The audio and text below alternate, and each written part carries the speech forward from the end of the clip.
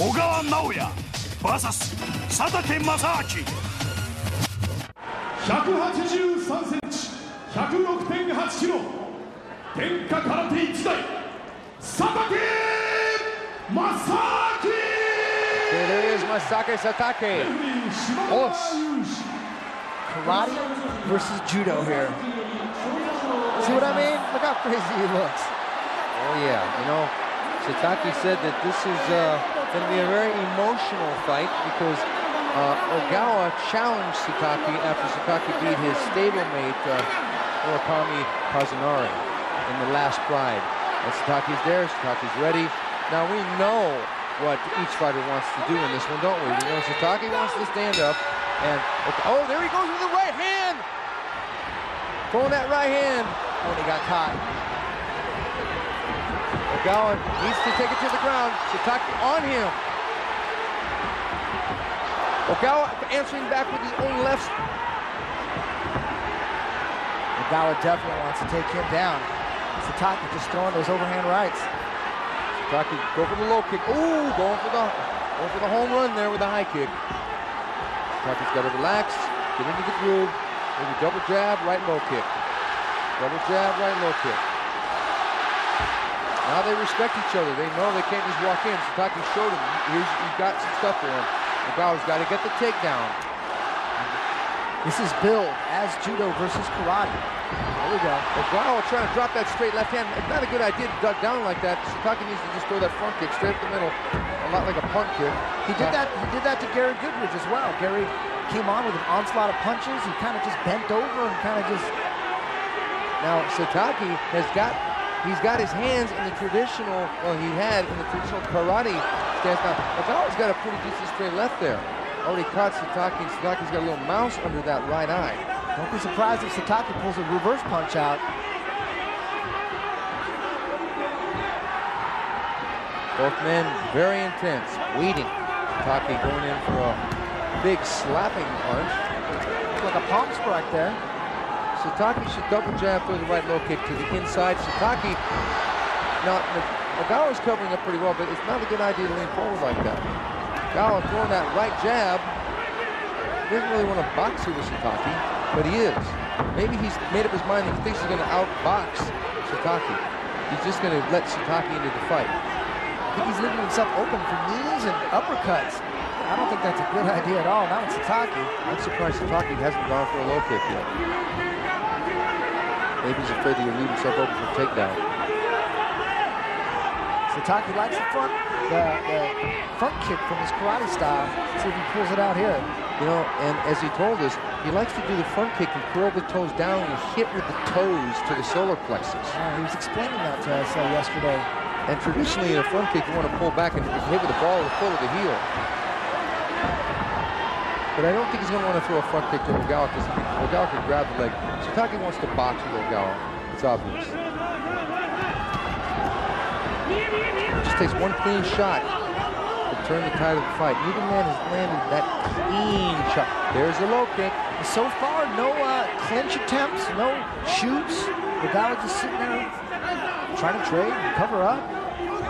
This fight may come down to conditioning. Nice right low kick by Satake going with overhand right. It's blocked. You know, I gotta say, I'm a little surprised by Ogawa's straight left hand from the southpaw stance. There's a lot of confidence in his striking. He's staying right in there. If anything, he's backing up Satake. I thought we'd see a, a judo throw attempt Or at by this point. yeah, or at least a clinch attempt. But maybe he feels if he gets into a clinch that Satake will go to the body with punches and knees. Satake throwing another kick that misses by about a foot. I think standing there and trading with Satake is a big mistake. He landed that one. Little left hook landed on uh, Ogawa. There's that right jab by Ogawa. That's a good sticking jab. He's Goes again. You know, it's obvious that Ogawa's worked with a boxing trainer in his, in his training. It really is. Maybe the southpaw stance is, is throwing Satake off a little bit. Uh, I think what's throwing him off is the height and the fact that Ogawa is confident to throw straight punches down the middle. Satake's been in with some of the greatest kickboxers in the world, Peter Aerts, Maurice Smith, uh, Ernesto Hoost. He's also been in with some of the greatest names in mixed martial arts. Unfortunately, his first mixed, mixed martial art uh, fight was against Mark Coleman, one of the greatest fighters in the history of the sport. And Satake unfortunately lost to a can opener neck crank from the guard. There he goes. I think that got him in the shoulder.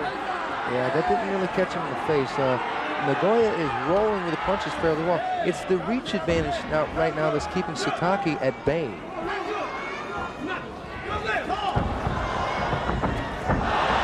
There's that right hand again. Satake needs to use his jab.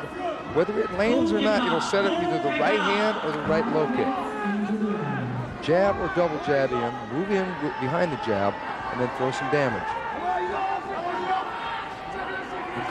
Ogawa confident with his left. Here he goes again. Now there's the right low kick. I was waiting for that. It's, uh, Ogawa's not going to want to take a lot of those shots. Another right low kick by Satake. Caught the foot. With that kick, you really want to catch the shin and dig it into the leg. Now that one landed with the shin. Ogawa's starting to feel those. I, I, I wouldn't be surprised if Ogawa shot in now. One more. I've seen uh, Satake stop people. Yeah, there look. Yeah, there's the shoot. You called it, Steve. And there's Satake underhooking, getting back. He, he's had enough of those leg kicks, that's for sure. Yeah, because Satake can kick pretty hard to the leg. There's another one. Ogawa's going to shoot again. He doesn't want to sit there and eat low kicks. Eat it right. Because the low kicks will take away his shoot for later in the fight.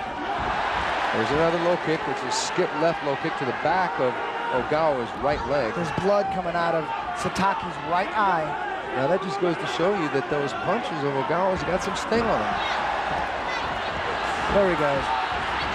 Oh, nice uppercut by Satake there. Satake's takedown defense is impressive here. Really his work on his takedown defense. Yeah, Ogawa's got inside three times and Satake defended well. There's that overhand right. That almost landed up top the head of Ogawa.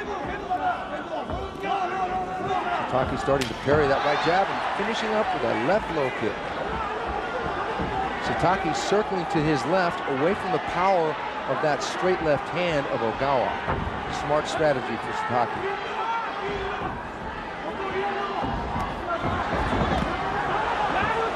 If that left hook lands on the chin, now see, Ogawa knew that because right after the exchange he put his hands up. That left hook lands on the chin, it's going to really hurt. Effects of Satake's low kicks on Ogawa's right leg. Starting to bruise up. Another one. Now he actually checked that kick. Uh, he's trying to block those. Satake should uh, disguise the kick with a jab or a fake right hand before he throws the right low kick. Now Ogawa looks like he's going to go for a. He's going to maybe jab in and go for a body lock. What he needs to do is body lock because his bread and butter is judo, so he's going to want to probably do either a hip throw or a squeeze down. He needs to get inside, Steve. You're right. You know, he really has respect for Satake's firepower because he just doesn't just rush in. Satake going high to remind him that it's there. Fans like that one. You know, Satake knocked out Kimo, who was a veteran of mixed martial art contests, with that same right high kick.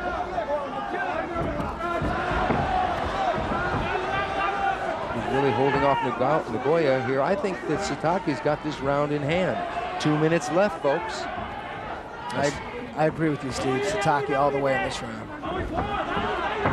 Now, so far, those right hands are coming up short for Satake, but if he finds his distance on that punch and catches Naoya uh, moving back, it's going to be curtains. Is that right hand again? Oh, that was a good shot to the leg of Ogawa. How many of those can he take?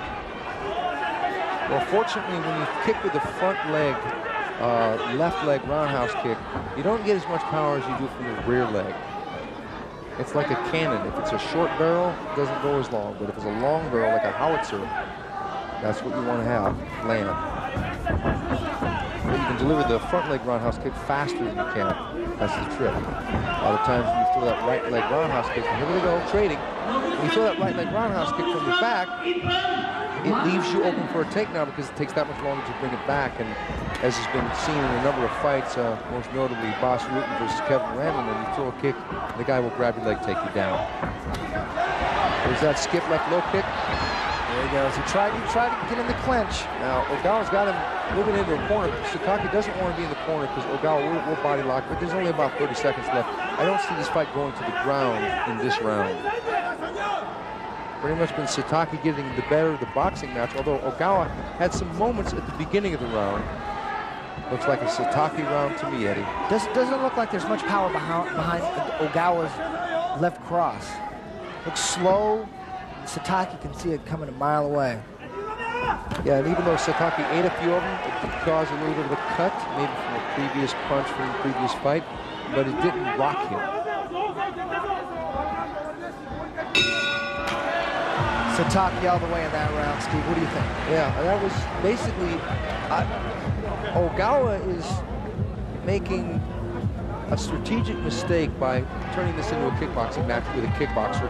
The level, K1 level kickboxer being Satake, you don't want to stand up with the guy because, as I said before, he's got accomplishments in, in karate, uh, kyokushin, in K1. You want to take him down, and Naoya, I mean, uh, Ogawa has got some submissions on the ground. Yeah, they're, they're, you see the, the effects of the low kicks by Satake. They're icing it up. I'm, I'm, I'm not sure if Ogawa wants to stand and trade with him or he's just frustrated with the clinch attempts. Just, he's gone, he's gotten inside a couple times. Satake's defense. There's that left low kick by Satake. He's parrying that right jab now with his left hand, and he'll crack that. And he only caught him with a foot, which isn't going to do as much damage.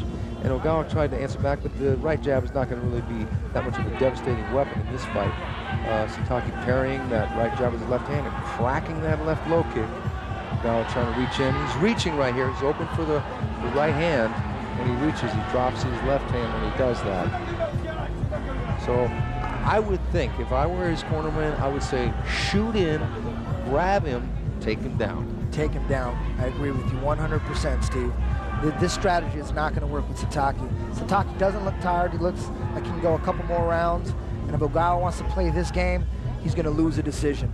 Now the problem is, by taking all those low kicks, that's going to eventually take away the speed and power in his shoot, his ability to move in for the takedown because he'll be basically immobile, hobbling around. You're right. You know, and, and eventually he's going to have to switch to orthodox stance because that right leg in front, as we can see, is absorbing some kicks and it's bruised up right here. He needs to make that move now. He needs to get him down now. Okay, here we go, round two, karate versus judo. Ogawa versus Satake. Satake in the red trunks, Ogawa in the gray trunks. It's like Ogawa's got the same game plan. There's that left low kick. Crowd really getting into this one. Ogawa, Ogawa loves that left, that straight left keeps going to it, but Satake's seeing it.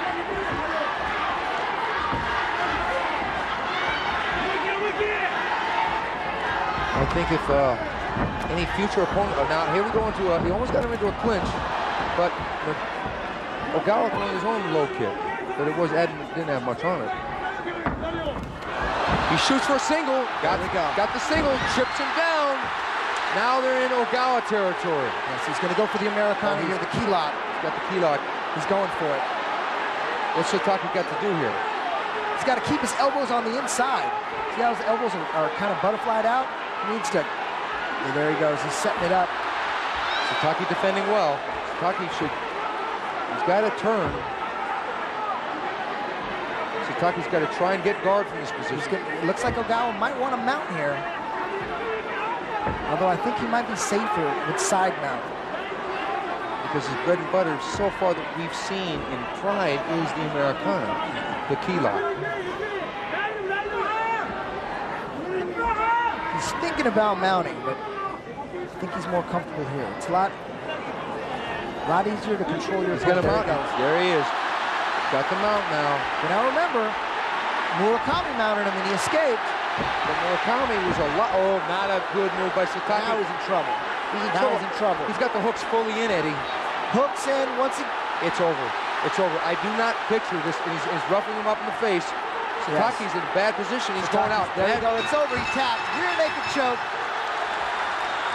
Judo beats karate tonight. Was a great fight, Steve. You know, that really was. Um, he had his game plan. He was going to go out there and stay out of harm's way, maybe eat some low kicks. Eventually, he knew that one shoot, that one takedown was going to be the answer. And Satake didn't want to have anything more to do with Ogawa. He jumped out of the ring. He's headed to the dressing room. He's out of here. Okay, so now Ogawa is 2-0 in Pride. Uh, the official time on that uh, rear naked choke is two minutes, one second in the second round.